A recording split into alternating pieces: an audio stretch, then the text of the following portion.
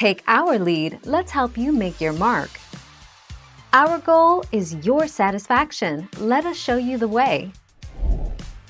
Creatine is also available in a supplemental form. Some bodybuilders use creatine to help them lift more during their training to get better results. While there are anecdotal stories about how it lowers libido, no evidence exists as of yet that creatine has a negative, or positive, impact on a man's sexual health.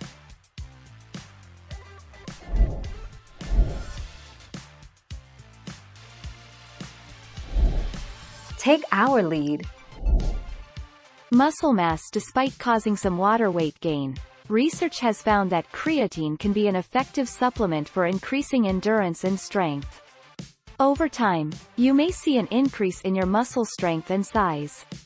Increased muscle mass will also tip the scale upward. 11 June 2019.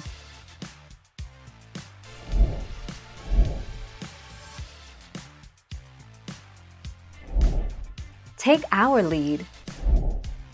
Safety and side effects Creatine is one of the most well-researched supplements available, and studies lasting up to four years reveal no negative effects.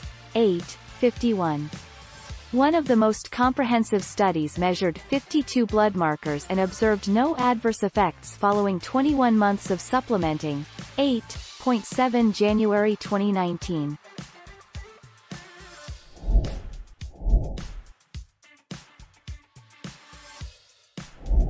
Make your mark, take our lead.